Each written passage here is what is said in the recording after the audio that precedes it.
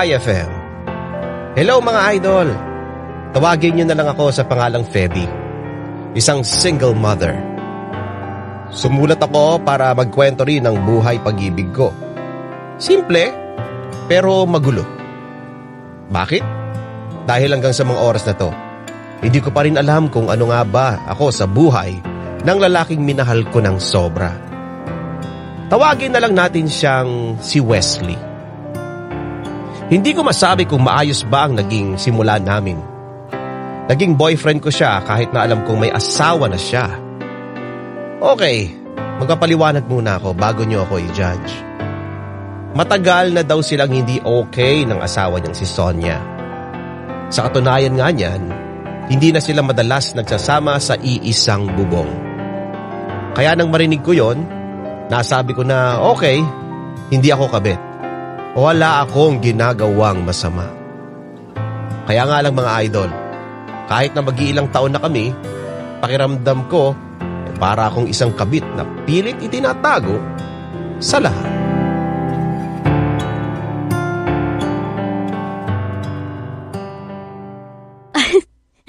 Babe! Mm. Hug nga!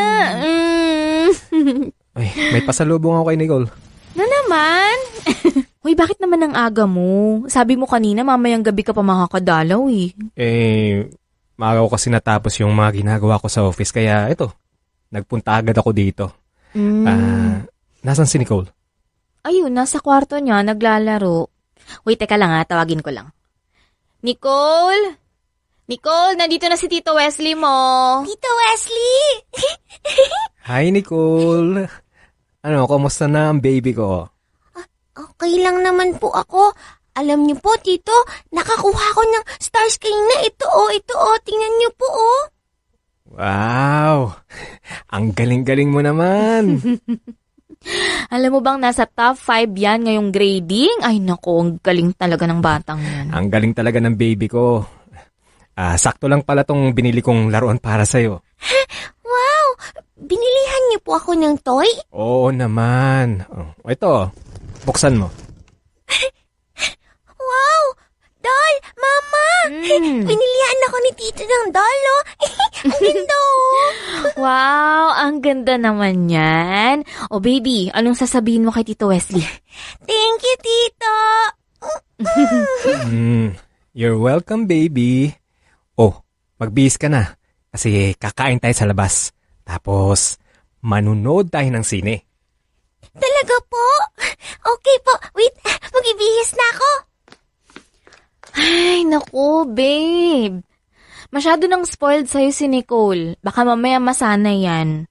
Ito naman kasi, kaunting lambing lang sa'yo, bumibigay ka na agad eh. Hayaan mo na. Eh, minsan lang siya maging bata. Saka, hindi rin naman na magtatagal eh. Magiging daddy niya na ako. Hmm, talaga? Uy, paano hmm. yung ex-wife mo? Hindi pa rin kayo anal, di ba? Hayaan mo na rin yun. Ako na ang bahala doon. Eh, ayaw kong na-stress ka eh.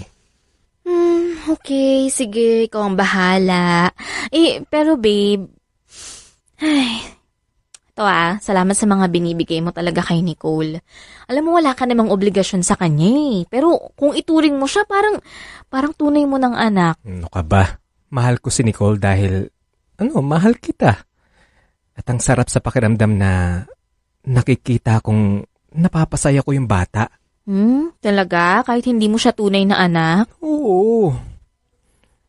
Oh, eh, eh bakit parang bigla kang nag-alala dyan? Hmm, eh kasi ayun, naisip ko lang kasi yung asawa mo eh. Eh paano kung malaman niya yung tungkol sa atin? Tsaka sugurin niya ako. Tapos makikita ni Nicole. Wala, natatakot lang naman kasi ako na baka mag-iba bigla yung tingin sa akin ng anak ko eh. Babe, o ka ba? Huwag mong isipin yan dahil hindi naman yun mangyayari. Eh, hindi ka naman sigurado dun eh. Kahit bali-balik ta rin pa natin ng mundo, mali pa rin tayong dalawa. Kasi naman kasal ka pa rin sa kanya eh. Kaya kahit sinong tanungin mo, ako pa rin ang mali dito. Ay, babe, to, makinig ka sa akin. Hindi ko hahayaan na may mangyari sa yung hindi maganda. gagawin ko ang lahat para hindi siya makalapit sa inyo ng anak mo. Eh, eh kailangan ko lang na magtiwala ka sa akin. Yun lang. Oy, pero paano kung Tama ano? na. Mahal kita. Mahal mo ako. Yun na lang ang isipin mo ngayon, okay? Okay. So, relax lang tayo. Makikipaghiwalay na ako kay Sonia. Yung totoong hiwalayan. Tapos, isusunod ko kagad yung annulment namin. Okay, sige. May tiwala naman ako sa'yo eh.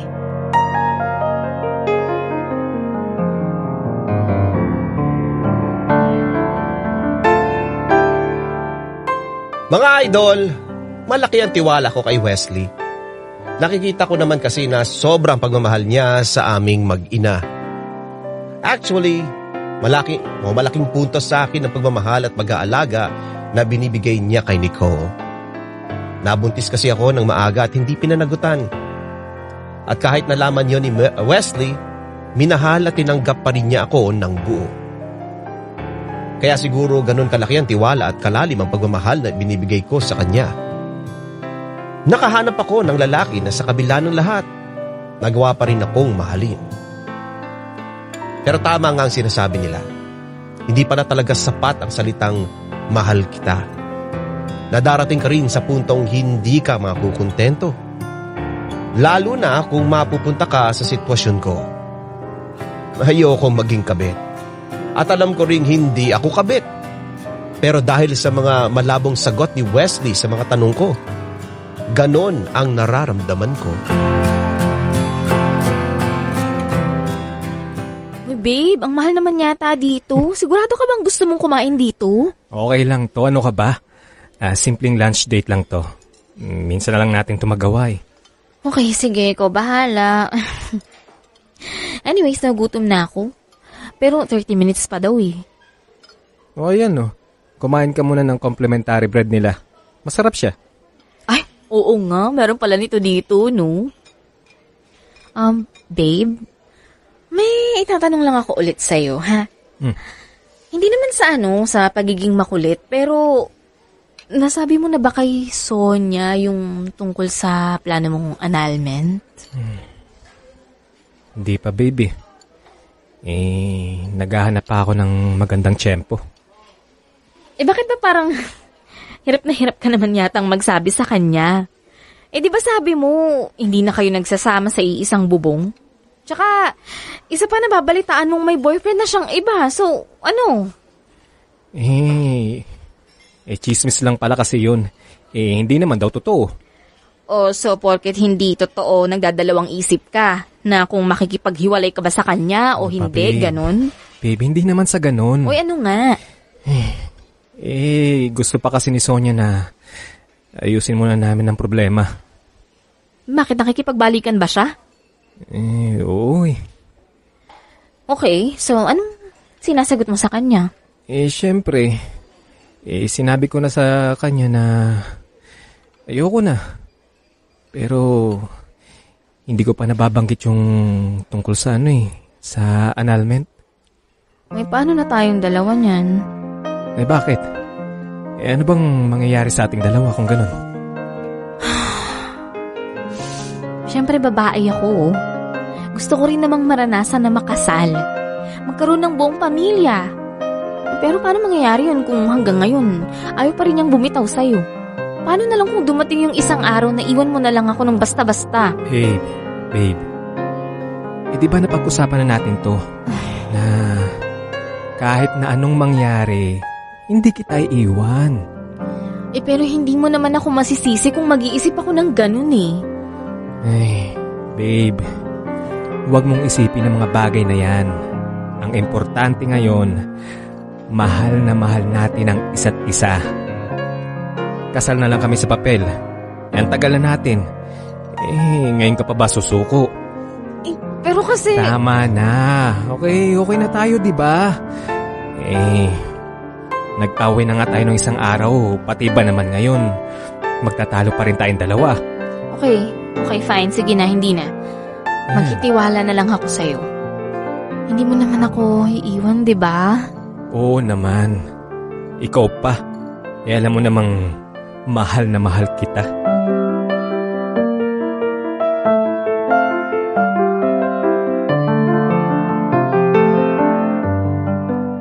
Sa totoo lang mga idol, nang dahil kay Wesley, natuto ko magtiis at maghintay. Sa sitwasyon kasi namin, required talaga na magkaroon ako ng sobrang pasensya. Oo, madalas naiinip ako. Siyempre gusto ko rin naman na magawa niya akong ipagmalaki sa iba. May pakilala sa mga magulang at kaibigan. Yung makapagplano ako para sa future namin na hindi matatakot na baka hindi rin matuloy sa bandang huli.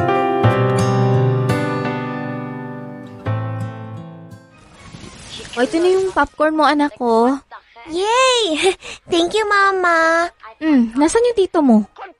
Andun po sa labas eh. May nag-call po sa kanya. Ah, okay, sige. Ay, Um, may tumawag daw sa'yo? ah, oo. Si Sonia, Hmm, mm, may gusto lang daw sabihin. Eh tapos sabi ko, eh, sa bahay na lang kami mag-usap. O, eh, bakit sa bahay pa kayo mag-uusap? Bakit hindi na lang sa labas? Baby, kahit naman anong gawin natin, asawa ko pa rin si Sonia. E alangan namang ipagtabuyan ko siya sa bahay ko. Yun na nga eh, asawa mo pa rin siya hanggang ngayon. Ano bang nangyayari sa'yo? Kailangan mo bang sabihin nyo na nandyan yung bata? Eh, mas mabuti nang alam niya para hindi tumatak sa isip ng anak ko na magiging daddy ka niya kasi hindi yun mangyayari. Eh bakit naman hindi mangyayari yun? Kasi nga, kasal ka pa rin sa asawa mo. Ano ba?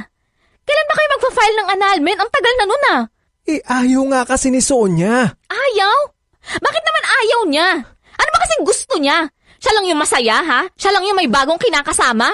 Oy, paano ka naman? Paano tayo? Darating tayo doon. Babe, maghintay ka lang. Oh, my God, Wesley. Maghihintay? Wesley naman. Tatlong taon na akong naghihintay dyan sa mga sinasabi mo. Habang tumatagal yung relasyon natin, mas lalo ko natatakot na baka... na baka nga hindi ka seryoso sa akin eh. Ang dami kong tanong na hanggang ngayon hindi mo pa rin ako binibigyan ng sagot. Teka, teka nga. Ano ba yung pinagsasabi mo? Bakit mo man naisip na hindi ako seryoso sa'yo? Dahil kung totoong mahal mo nga ako, ikaw na yung maghahanap ng paraan para matuloy yung annulment yung dalawa. Hindi mo kasi alam yung pakiramdam na maging kabit eh. Ha? Kahit bali-balik ta rin natin ang mundo. Ganun yung magiging papel ko sa buhay mo. Bakit sa tingin mo ba hindi ako nahihirapan? Ako din naman na. Nahihirapan din ako. Intindihin mo naman kasi na wala akong magawa sa ngayon. Sa tatlong taon, Wesley, wala ka nagawa? Kung gusto mo talaga, magagawa mo naman ang paraan yan eh. O eh, baka naman kasi hanggang ngayon, mahal mo pa rin yung asawa mo. Ganun ba? So ngayon, pati pagmamahal ko sa'yo, kini-question mo na rin. Isipin mo naman kasi ako. Ha? Sige nga, tatanungin kita. Ano ba talagang plano mo sa akin? Habang buhay ba tayong ganito na lang? ano? Alam mong mahal na mahal kita. Sa tingin mo, aabot tayo ng ganito katagal kung iba ang habol ko sa'yo. Ano ba naman, Feby? Kunting pangunawa naman, yun lang. Nakakapagod kasi yung ganitong sitwasyon natin eh. Ayoko naman habang buhay pangalawa lang ako sa'yo. Kung wala ka talagang plano sa akin, ha? Sabihin mo na lang, pwede ba? Hindi pagmumukain mo pa akong tanga. Sobra kitang mahal. Kayo ni Nicole. Kahit kailan, hinding-hindi kita iiwan. Darating din ang panahon na maintindihan ni Sonia na hindi na kami talaga pwedeng magkabalikan. Basta, basta Feby, magtiwala ka lang sa akin ngayon, okay? Promise yan? Oo. At wag na wag mo nang pagdududahan ng pagmamahal ko sa iyo kasi totoo yun. Mahal na mahal kita. Yun na lang ang palagi mong isipin at ako na ang bahala.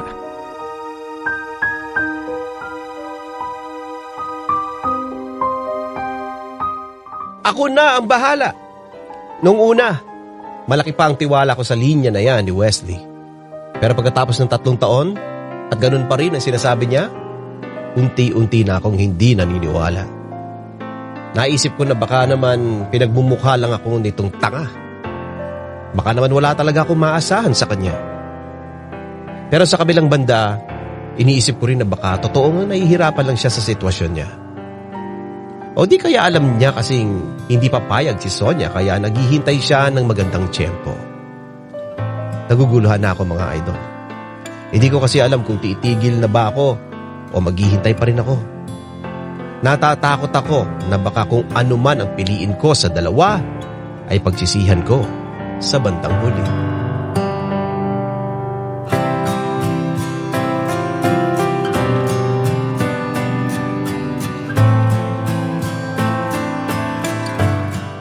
Mga idol, dumating na ako sa punto na parang tinanggap ko na lang na wala talagang plano si Wesley sa akin. Naisip ko na baka wala naman talaga siyang balak na hiwalayan ng asawa niya. At ayaw lang niya akong bitawan. Kaya sabi ko, sige, uunahan ko na yung sakit. Magpa-practice na ako na hindi nakasandal sa kanya. Sasanayin ko ang sarili ko na hindi ko siya kasama araw-araw. Na hindi siya kasama sa mga plano ko sa buhay. At sa buhay naming mag-ina. At dahil doon, nagplano ako mag-apply papuntang ibang bansa.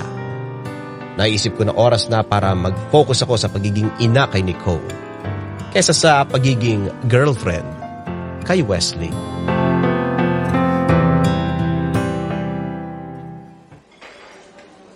Hmm. Kumusta nga yung baby mo, si Nicole? Ayun, nag-uumpisa ng mag-aral. Ay bakla, dahil mo ng utang sa inaanak mo ha. Oo nga. Don't worry, babawi ako. Anyway, kumusta naman ang love life? Hmm? Hindi, ubusin ko muna nga itong kinakain ko. Ayan, okay. Ah, mabalik tayo. Anyway, kumusta naman ang love life? O ano, baka naman nakikipagbalikan ka sa kumag mong ex. Alam mo, sasabunutan talaga kita kapag nandito pa yan sa food court, ha? o hindi ah, hindi na ako tanga no. Excuse me. Oy, mabuti naman. Eh, di ba, may bago ka na. Yeah, meron na. Tsaka medyo matagal na rin kami. At close na sila ni Nicole. Ay, talaga? Oh, that's good. Anong pangalan yan? Wesley. Ay, pangalan pa lang, gwapo na, at saka mukhang mayaman na. Nako, Donita ha. Hindi ka pa rin talaga nagbabago hanggang ngayon. Pero tama ka dyan. Mayaman siya tsaka gwapo. Hmm, bongga. Jackpot na jackpot ka dyan, girl. So, ano, kwentuhan mo naman ako. Anong klaseng boylet yan? Well, mabait siya. Sweet, tapos galante. Lalo na kay Nicole. 40 years old na siya, oo. Tsaka, well, ganun talaga. Senior manager naman siya. May problema nga lang. Kasal na kasi siya, girl. Ay? Pero, pero, Hmm. hiwalay na sila ngayon. Eh, ang siste, anal na ba sila? Hindi pa. Oh, sandali. Pero on the process na. Hindi din. Eh, bakit naman hindi pa? Hindi pa siya nakakahanap ng timing para masabi sa asawa niya eh. Diyos ko, di ba dapat matik na yon? Ano kayo ba sa kanya? Hmm, problematic. Pero, eto girl, nararamdaman mo naman na mahal ka niya. Eh baka naman puro bulahan lang kayo. Well, mahal naman niya ako. Ganon din naman siya sa anak ko eh. Well, that's good. At least pati sa anak mo, 'di ba? Mahal niya rin. Hindi katulad ng iba diyan, malaman lang na may anak na, eh todo ayaw na. Pero may plano naman siguro na mag-file ng annulment. Yeah, meron naman. Naghahanap lang siya ng magandang timing talaga. Hmm, kanina ka pa dyan sa magandang timing. Alam mo, Feby, don't get me wrong ha. Pero para kasing lumalabas na other woman ka ngayon kasi kasal pa rin sila. Yun na nga, yun na nga eh. Pero palagi namang sinasabi sa akin ni Wesley na siya na yung bahala, tsaka wag na raw ako mag-alala. Pero kasi, te, hindi ko talaga kasi maiwasan eh. Eh, pagkatiwalaan mo na lang muna siya. Hayaan mo na nga muna. O nga pala, saan ka galing kanina at ang ganda ng get up mo ngayon? Ayun, galing ako sa agency, nag-apply ako ng working visa sa Saudi. Ay, bakit? Eh, mukha namang okay ang kalagayan mo ngayon ha. At saka sabi mo nga, nandiyan naman si Wesley para suportahan ka. Eh, ayoko naman kasing iasa lahat sa kanya, no? Hindi kami kasal ni Wesley at mali ang sitwasyon namin sa mata ng ibang tao. Ayoko lang kasi na dumating yung araw na bigla na lang niya kaming bitawan, ganun. Pwede, kawawa naman kaming mag-ina, di ba? Saka para kay Nicole tong ginagawa ko. Hmm, sa bagay.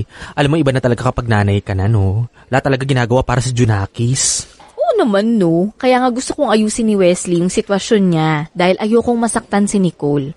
Ayoko naman na parehas kaming mag-ina ang umasa at masaktan sa huli.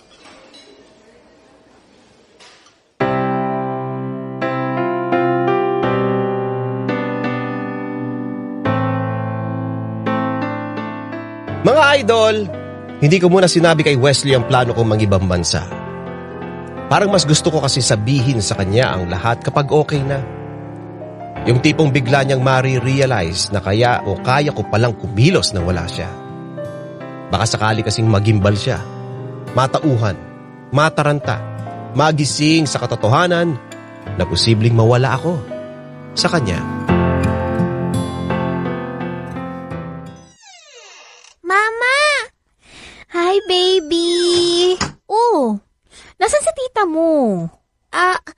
CR po eh. Mama, bakit Hmm. ngayon lang po kayo? Ay, nag-apply kasi ng trabaho si mama sa ibang bansa. Hmm? Bakit po? Para tuloy-tuloy na yung pag-aaral mo. Tapos, kapag nandun na ako, magkakaroon na tayo ng pera. Pwede na nating bilhin yung mga gusto mong laruan, tsaka mga damit. 'Di ba? Gusto mo yun? Talaga po? Bibiling natin yung mga toys sa mall? Oo, ay nako, kahit ano pa yan, ibibigay sa'yo yan ni mama kasi mahal na mahal kita. Kaso, Mama, Hmm. ibang bansa? Hindi po ba malayo po yun? Paano ka po uuwi dito sa bahay? Mm. Eh, anak, habang wala ako, kay lola ka muna titira kasi kailangan kong umalis tsaka magtrabaho eh. Hmm? Oo. Anak naman eh, huwag ka nang malungkot. Uuwi naman ako eh. Magkakahiwalay nga lang tayo nung sandali. Pero babalikan naman kita. Ha? Kailangan lang talaga ni mama na magtrabaho para sa'yo. Okay? Sige po. Kahit po, sad ako, wag po kayong mag-worry. Mag-aaral na lang po ako ng mabuti. Yan naman talaga ang gusto ko sa baby ko eh. Pero Mama, Mm. pwede po bang kay Tito Wesley na lang po ako tumira? Magiging daddy ko na rin naman po siya, di ba? Mm. Anak, hindi kasi ganun kadali yun eh. Pero huwag ka mag-alala ha, mag-uusap kami. Malay mo, pumayag siya, di ba? Okay po. Eh, di ba po, pupunta po siya ngayon? Mm, sabi niya, mm Baka po si Tito Wesley na yun. Tito Wesley! Tito Wesley! Mm. Wow! Ang ganda naman ng sumalubong sa akin. Ah, hello baby. Ah, si mama mo. Ay, ayan po oh. Hi babe. Mm. Ah, bakit bis na bis ka? Eh, saan ka ba nagpunta? Ah, Nicole, ah, play ka muna sa room, anak ha. May pag-uusapan lang kami ng Tito Wesley mo, okay? Okay po. Okay. May kailangan tayong pag-usapan pala. Pero hindi pa naman to sure. Nag-apply nga pala ako para mang ibang bansa. nag apply ka na hindi mo man lang sinasabi sa akin muna? Okay babe, kalma lang, kalma lang. Alam ko naman kasi na hindi ka papayag eh. Kaya, yun, hindi ko na lang muna sinabi sa'yo. Tsaka, hindi pa naman ako sure. Nag-apply pa lang naman ako eh. Ano ba naman, Feby? Bakit kailangan mo pang mag-apply sa ibang bansa? Hindi pa ba sapat ang mga binibigay ko sa inyo? Wesley, kailangan mong maintindihan na hindi naman habang buhay aasa kaming mag-ina sa'yo. Alam mo naman yung sitwasyon natin, di ba? Ay, paano kung dumating yung isang araw na maisipan mong bumalik sa asawa mo? Paano kami? Di, kami naman yung kawawa niyan. Sige, umalis ka. Iwan mo ako. Babe naman, wag mo namang masamain yung ginagawa ko. Para naman to sa anak ko eh. Tsaka, ayoko na habang buhay magiging pabigat kami sa'yo. Ikaw, sinusuportahan kita sa mga ginagawa mo. Ngayon baka naman, baka naman pwede mong, pwedeng ako naman yung hihingi ng suporta sa'yo. At saka ba't ka ba nagagalit? Eh, inatatakot lang ako na, eh baka pag naandun ka na, eh may mahanap ka ng iba.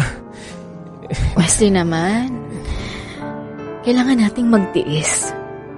Isipin mo na lang na ginagawa ko to para kay Nicole. Eh, buti pa nga yung bata, tanggap yung ginagawa ko eh. Gusto mo ba talaga yung ginagawa mo? Oo. Gusto kong magtrabaho sa ibang bansa. Pumapayag na ako. Pero, basta dapat maging constant ang communication natin ha. Okay, sige, sige.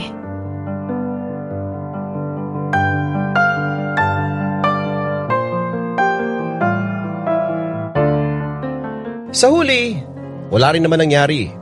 Wala akong nakitang pagbabago kay Wesley. Ni hindi nga siya kumilos nang malaman niyang malalayo ako sa kanya. Palihim akong nasaktan. Sabi ko, baka hanggang dito lang kami. Baka habang buhay na akong pangalawa sa buhay niya.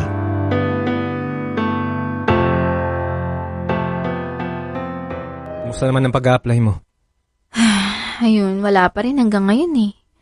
Nakailang agency na nga ako, pero ni isa sa kanila wala pa rin tumatawag sa akin. Eh, di mabuti. Ha? Hmm. Anong mabuti? Paano naging mabuti yun? Wala nga tumatawag, di ba? Eh kasi, ang ibig sabihin nun, eh, hindi ka na matutuloy. Eh di, hindi ka na alis. Ah, ganun. Siguro pinagdadasal mo talaga na walang tumawag sa akin, no? Kasi ayaw mo akong umalis. Eh paano kung oo? Akala ko ba na pag-usapan na natin to? Pumayag ka na, di ba? Ano ngayon? Bakit hanggang ngayon ayaw mo pa rin yung plano ko? Eh kasi, naghihintay lang ako na matauhan ka dyan sa kalukuhan mo. Eh hindi ko kasi maintindihan kung bakit kailangan mong mga ibang bansa. Eh nandito naman ako. Kayang-kaya kitang buhayin. Talaga ba? Eh, di makipaghiwalay ka muna kay Sonia bago mo yan sabihin sa akin. Ay, ay, ito na naman tayo. Hindi ka ba napapagod na parating yan na lang ang pinag-uusapan natin? O eh, ikaw? Hindi ka ba napapagod sa sitwasyon nating dalawa? Ilang taon na tayong dalawa, Wesley. Pero hanggang ngayon, pakiramdam ko, kabit ako. Hindi ko pa nga nakikilala yung mga kaibigan mo eh. Feby naman. Ano? Lahat ng bagay may perfect timing. Wow, ang tagal naman talaga ng perfect timing mo. Ano ba, gusto mo ba ako nang gumawa ng paraan para sa'yo? Ako na may pag-usap dyan kay Sonia. Feby, please. Hindi ko Ay, yan. nako, tigilan mo nga ako, ha? Tigilan mo ako. Baka naman kasi kahit kailan, hindi ka nagkaroon ng lakas ng loob na magsabi sa kanya. Tsaka wala kang balak na makipag-anal sa kanya. Hindi totoo yan. Ay di, tawagan mo siya ngayon. Sabihin mo sa kanya na may sasabihin kang mahalaga. Ano? Dali, go. Tawagan mo na. Hey. Yan na nga ba sinasabi ko eh. Alam mo, dapat lang talaga na ituloy ko na yung pangingibang bansa ko. Para hindi lahat ng bagay iasa ko sa'yo. Dahil sa ginagawa mong yan, hindi namang malabong iwan mo ko eh. Okay. Okay, sige. Magsasabi ako kay Sonia ngayon din. Pero ito ah, titigilan mo na yung pag-apply mo. Magsabi ka muna kay Sonia. At patunayan mo sa akin na aayusin nyo na yung annulment nyo. At tsaka ko to ititigil. Oh, ano? Oh, di mo kaya, di ba? Kasi wala kang lakas ng loob na gawin yan. Wesley, alam mo kung wala kang balak, pwedeng sabihin mo na lang sa akin, ha? Hindi yung pinapatagal mo to.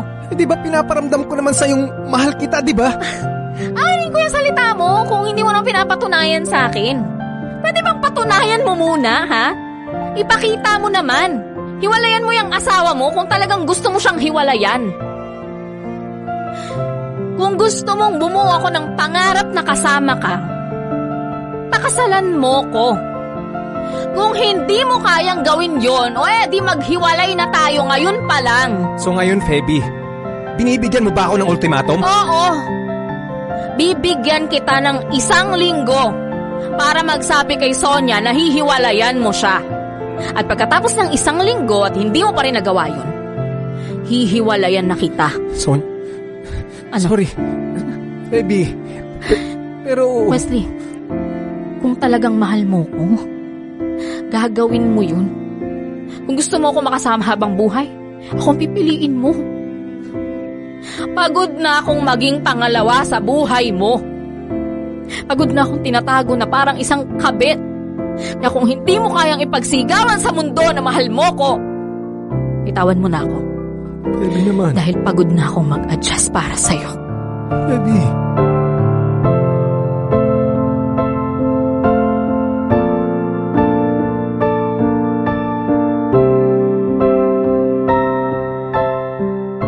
Mga idol, natapos na lang ang isang linggo. Hindi ginawa ni Wesley ang gusto ko. Kaya wala rin ako nagawa kundi tapusin na ang lahat sa amin. Masakit at mahirap. Pero kailangan kong gawin yon para sa sarili ko. Sapat na siguro ang apat na taon ng paghihintay. Oras naman para tuluyan na akong maging masaya. Kahit wala na si Wesley sa buhay ko. Sa ngayon, patuloy pa rin ako nagtatrabaho para sa amin ni Nicole. Hindi na ako natuloy sa ibang bansa dahil parang hindi ko rin kayang malayo sa anak ko. Masasabi ko na hindi na ako ganun kalungkot. Pero hindi rin naman ako masayang masaya. Pero kahit ganun, alam kong merong taong nakalaan sa akin na handa akong ipagmalaki sa mundo. Dito ko natatapusin ang sulat kong ito mga idol. Maraming salamat sa inyo at sa lahat ng bumubuo ng Dear IFM. Mabuhay kayong lahat. Nagpapasalamat. Feby.